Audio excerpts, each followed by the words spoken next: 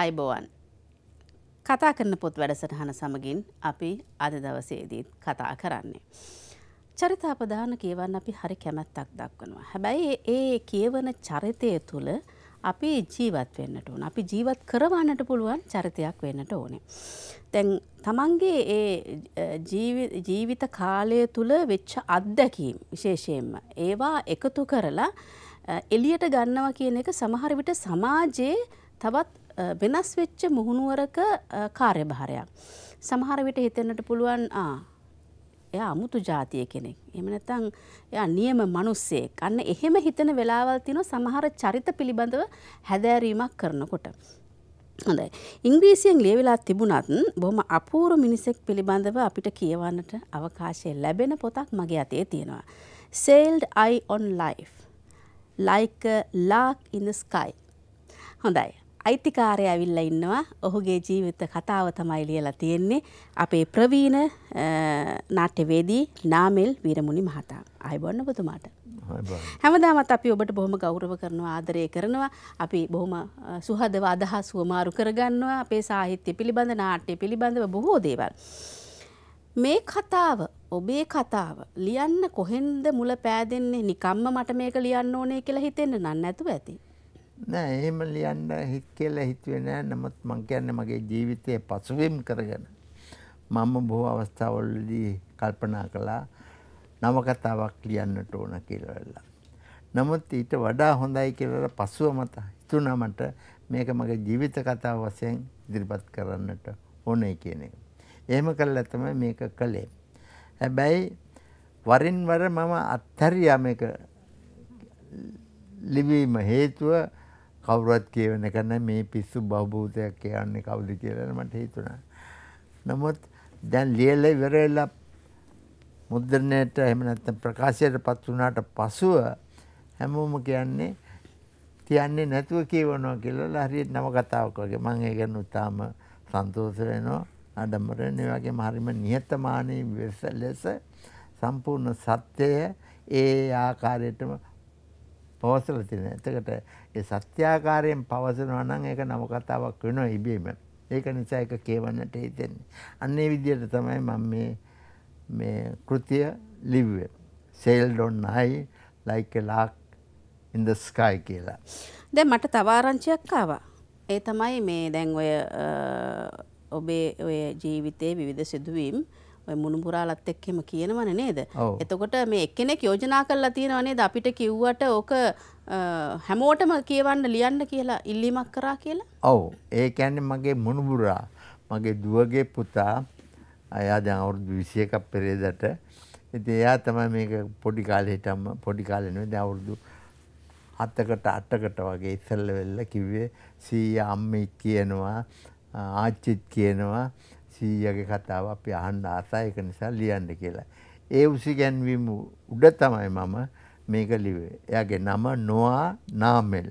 නාමෙල් කියන කොටසත් ඒ නමට එකතු කරලා තියෙනවා. එයාගේ තාත්තගේ වුමනාවෙන් විශේෂයෙන්ම ඔහු නිව්සීලන්ඩ් එහෙම නැත්නම් ජාතිකයෙක්. ඉතින් ඒ ඒ ඒ පුතත් එහෙම නැත්නම් ඒ මගේ බෑනත් තාම අපිට ආදරේ අන්න ඒ විදියට තමයි යාගේ නම යොදලා තියෙන්නේ නොවා නාමල් කියලා. එයා තමයි මේක මට කියුවේ සීයේ මේක ලියන්න කියලා. ඒ කාලේ ඉංග්‍රීසියෙන් තමයි ඉතින් කිව්වේ.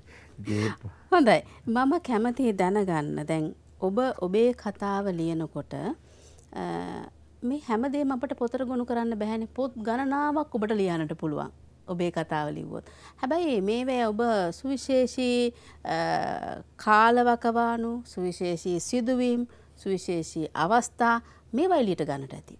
ඔව් එහෙම තමයි මම ලියලා තියෙන්නේ මං අඩු ගානේ මං හිතන්නේ මට අහන්න ලැබුණු දේවල් ඒ ගැන මට අවුරුදු අවුරුදු නෙවෙයි මාස හතරක් වෙච්ච කාලේ මගේ ජීවිතයේදී මම පෙදෙලා එතකොට ඔවුන්ම ඒ විදිහට තමයි මගේ ඔය කතාව පටන් අරගෙන තියෙන්නේ එහෙම නැත්නම් මේ චරිතාපදානය. එතනදී විශේෂයෙන්ම මට අම්මා ජීවතුන් අතර ඉඳද්දී සඳහන් කළා මේ මේ මේ විදිහේ දේවල් සිදු වුණා කියලා. අම්මා මිය ගියා මං හිතන්නේ අවුරුදු 15ක් නැත්නම් 16ක් වෙනකොට හරියට 1950 ජූනි මාසේ තමයි අම්මා නැති වුණේ 30 වෙනිදා. එතකොට දැන් මං මං ඉපදුනේ 1934 අවුරුදු 85ක් දැන් මට අවුරුදු 85කුත් මාසෙකුත් දවස් 20ක් 21ක් වෙනවා අදට. ඉතින් ඔන්නේ විදිහට තමයි මගේ ජීවිතේ පටන් ගත්තේ. විශේෂයෙන්ම අම්මා සඳහන් කළා මට ඉඳලා තිබිලා තියෙනවා අක්කා කෙනෙක්. ඒ අක්කා ඊටාම ලස්සනයි කියලා හැම වෙලෙම ආඩම්බරෙන් කියනවා. ඒ වගේම ඊටාම හොරුබුටි කියලා කියනවා. ඉතින් එහෙම මාව හොරතල් කර කර ඉඳද්දී ඇඳේදී මාව මේ බදාගෙන ඉඳලා නැත්නම් හොරතල් කර කර ඉඳලා එකපාරට මගේ පිටිපස්සට එහෙම නැත්නම් තට්ටන් තුනට පොඩි කාලේ මාස හතරක් විතර හොඳටම පාරවල් තුනක් ගාලේ වෙලා තාත් අම්මිට තරහ නැහැ තාත්තිට තරහ නැහැ මල්ල මල්ලියට තරහ නැහැ කියලා අනිත් පැත්ත යනවා. එච්චර තමයි. ඒ කියන්නේ ඈ මිය ගිහිල්ලා ඊට පස්සේ. ඉතින් ඒක මෙහෙම අම්මා දුවලා ඇවිල්ලා මම හිතන්නේ කොහේ හරි ඉඳලා එහෙම නැත්නම් කුස්සියේ හරි උය උයා හරි ඉඳලා වෙලා ඇවිල්ලා වෙලා මේ මොකද මේ කිරිසප්පයට ගහන්නේ කියලා වෙලා උස්සගෙන ඇවිල්ලා වෙලා හුරුතල් කර කර ඉඳන් මගේ හැඬීම නවත්තන්න උත්සාහ අරගෙන කියලා වෙලා මේ අක්කා શબ્දයක් නැතුව ඉන්නවට පස්සේ ආවෙලා මොකද මේ අපි තුන් දෙනාම තරහ නැහැ කියලා මල්ලියට ගහලා ඉවරලා දඟලන්නේ කියලා කියලා බොරුවට නිදාගෙන ඉන්න කියලා ඇවිල්ලා. ඇවිල්ලා හෙලවුවා. නමුත් ඇයගෙන් කිසිම සෙලවීමක් නැහැ. අවසානයේදී ඈ හાર્ට් ඇටැක් එහෙම නැත්නම් හෘදය ස්පන්දනයකින් මිය ගිහිල්ලා. ඔන්න ඒ විදිහට තමයි අක්කගේ ජීවිතේ අවසන් වෙලා තියෙන්නේ. අවුරුදු 5ක් විතර ඇති කියලා එතකට කියන්නේ. ඉතින් අම්මා හැම වෙලෙම අඬනවා ඒ කාලේ. අඬලා කියන්නේ හැම වෙලෙම මතක් කර කර නැන් හිටපු මේ මේ කම්බා එහෙම නැත්නම් මේ මේ කොන අරගෙන ඉවරලා මේ මේ අර මේ කඳුල් පේනවා. ඒක මට හොඳට මතකයි පොඩි කාලේ අවුරුදු මන්ත දෙකට තුනක් හතරක් විතර හැම කා හැම ඔන්න විදිහට තමයි මම ඒකෙන් තමයි පටන් ගත්තේ. නාට්‍ය මේ පොත. අම්මිට තරහ නැහැ තාත්තට තරහ නැහැ මල්ලියට තරහ නැහැ චට චට ගා මට පහර තුනක් ගැසී. ඒක තමයි සිංහලට පරිවර්තනය කළාම අදහස් අදහස් වෙන්නේ. ඔව්. හොඳයි මම හිතනවා බොහොම සංවේදී තැනකින් ඔබ ඒ කතාව ආරම්භයක් සපයලා තියෙන්නේ. ඒ හිටපු එකම සහෝදරී. ඔබට හිටපු එකම සහෝදරී. නෑ මට තව ඊට පස්සේ නංගි කෙනෙක් ඉන්නවා. ආ ජීවිතන අතර ඉන්නවා.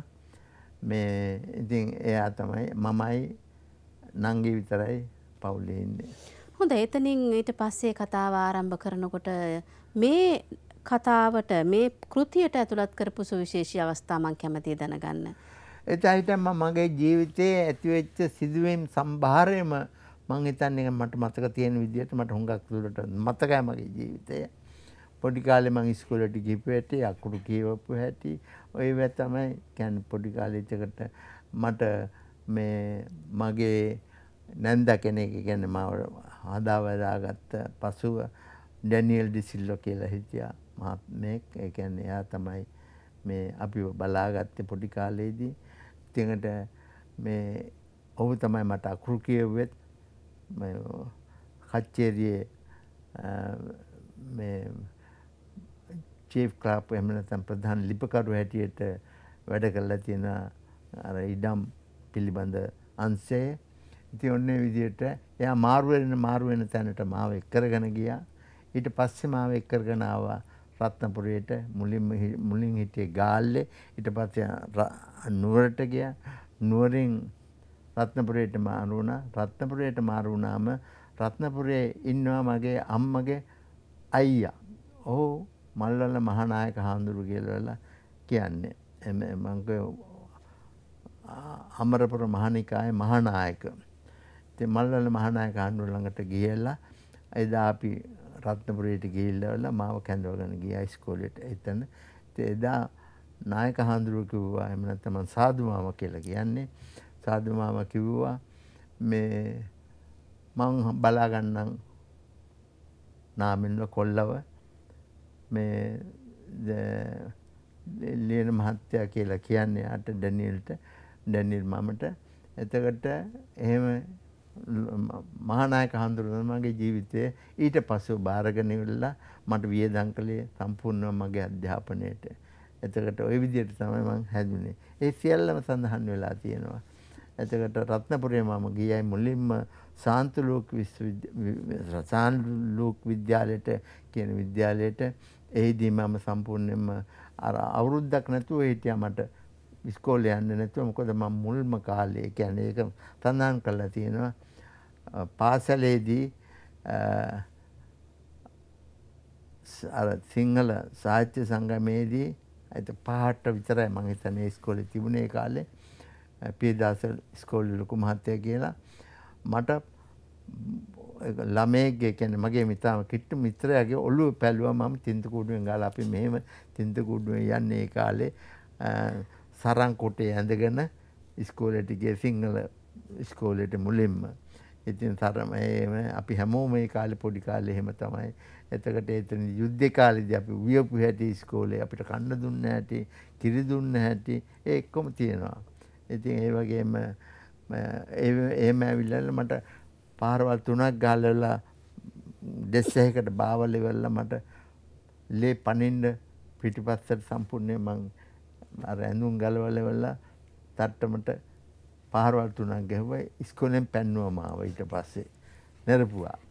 ඒ හේතුව ඒ විදිහෙන් නරපන්න හේතුව නරපන්න හේතුව අරයට ගැහුවා කියලා නම්. එතකොට ළමයි හදන්න බෑ කියලා. අපි ඉස්කෝලේට එන දවසේ මට හොඳට මතකයි වචන ටිකක් ඉස්කෝලේ මේ ලොකු මහත්තයා කියනවා මේ මේ විදියට මේ දන්වම් කරන්නේ පාඩමක් උගන්වන්න අනිත් අයත් ඉගෙන ගන්න ඕන අනිත් ඉස්කෝලේට එන දවසේ මට කිව්වා අද එනවා ඔයගොල්ලන්ගේ සහෝදරයෙක් එයාව හොඳට බලා ගන්නට ඕන කියලා වෙලා.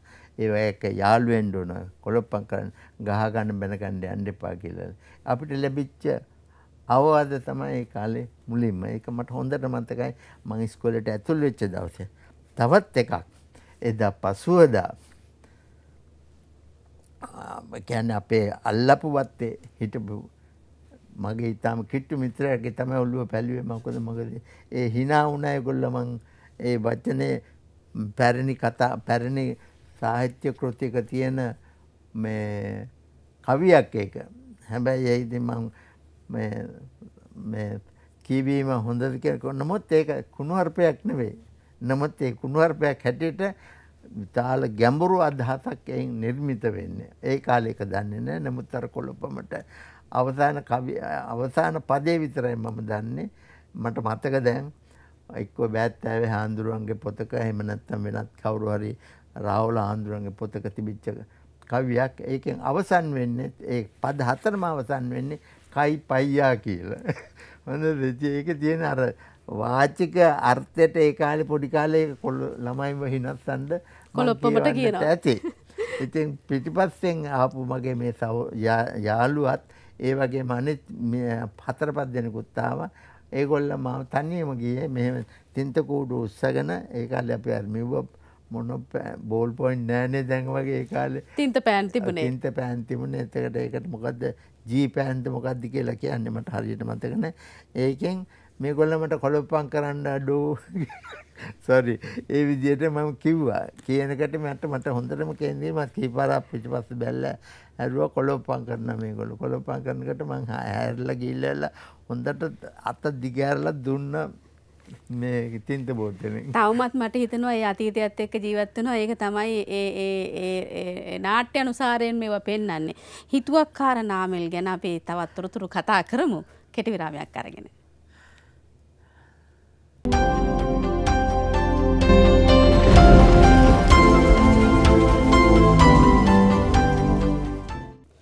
හොඳයි විරාමෙන් පසු යලිත් කතා කරන පොත් වැඩසටහන සමගින් එක්වන්නේ.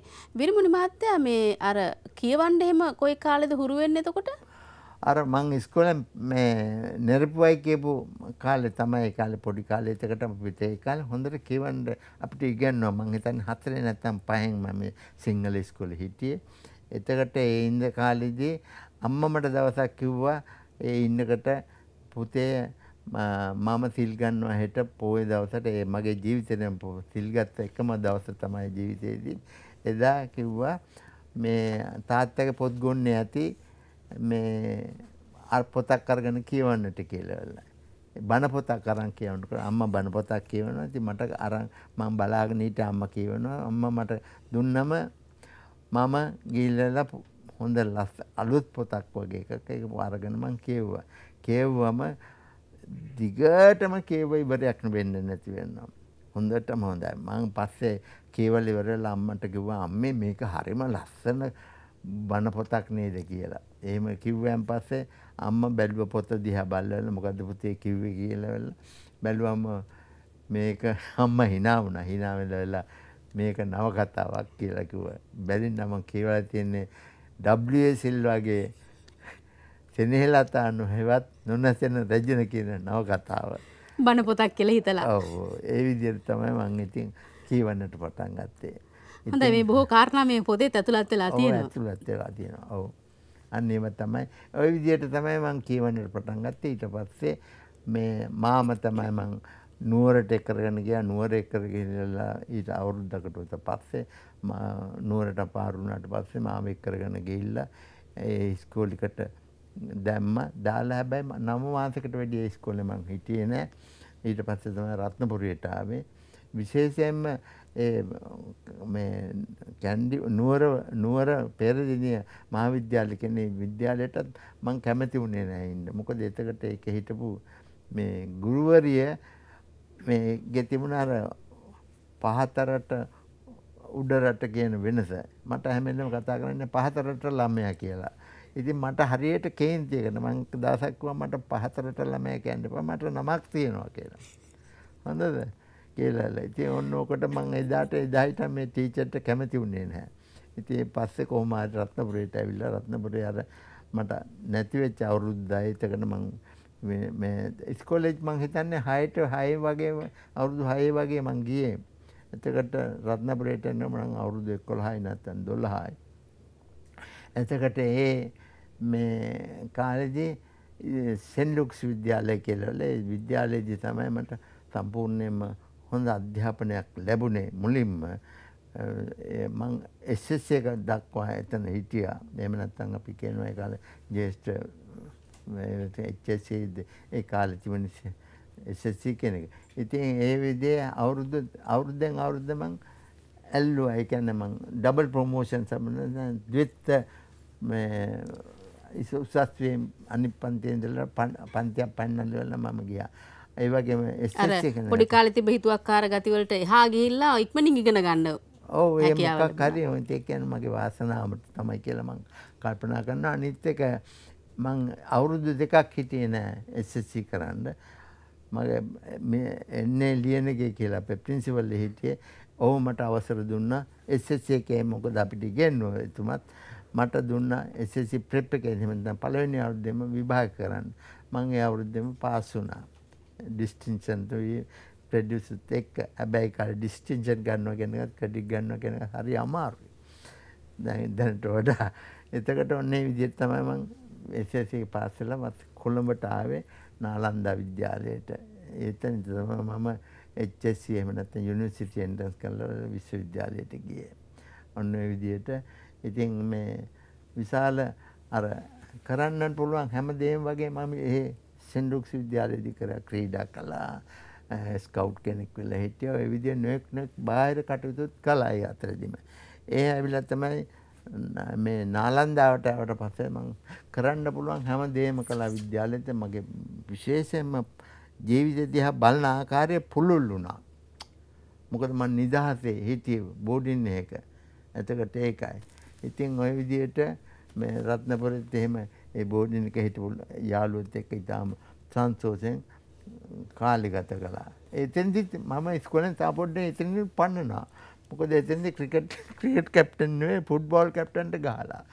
ඒ පන්තියේදී ප්‍රින්සිපල් දැකලා නවත්තන්න ගමන් කරනවා ඉන්න සර් මෙයා මට මේ ගැහ්වා එක නිසා මම මෙයාට ගහලා තමයි නවත්තන්නේ කියලා.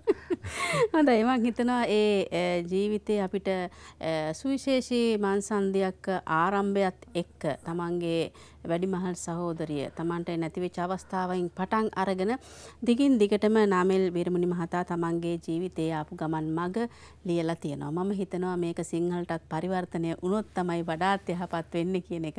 ඒ ගැනත් සලකා බලන්නට කියලා මම ඔබතුමාගෙන් ඉල්ලීමක් කරනවා. මොකද තව කෙනෙකුට හෝ පවර්ලා මේක සිංහලට පරිවර්තනය කරන්නට හැකියාවක් තිබෙනවා නම් ඒකත් වටි. පරිවර්තනය කරගෙන යනවා. දැන් මම නෙමෙයි කරන්නේ. වෙන කෙනෙක් කරන්නේ. නමුත් දැන් දැනටම මේ පරිච්ඡේද 30ක් කරලා තියෙනවා. බොහොම වටිනා කියන කෘතියක් බවට පත් වෙලා තියෙනවා. මොකද ඒක සිංහලටත් පරිවර්තනය වුණොත් සිංහල පාඨකින්ටත් ඒක වඩාත් ප්‍රයෝජනයට ගන්නට හැකියාවක් ලැබෙයි. මොකද මේ වගේ චරිතයක් අපිට හැදෑරීමක් කරන්නට උනත් එහෙම නැත්නම් අපිට අධ්‍යයනයක් කරන්නට උනත් ඉතාම වටින චරිතයක්. ස්තුතිවන්ත වෙනවා අද දවසේදී අපේ ප්‍රවීණ නාට්‍යවේදී නාමල් වීරමුනි මහතාට. ඒ වගේම එතුමාගේ තවත් කෘතීන් බොහොමයක් තියෙනවා අපිට කතා කරන පොත් වැඩසටහනේදී ඉදිරියේදී කතා බහ කරන්නට. ඉතින් එතුමාට අද දවසට සමුදෙන ගමන්ම අපිත් සමුගෙන යනවා කතා කරන පොත් වැඩසටහනින් සුබ දවසක්.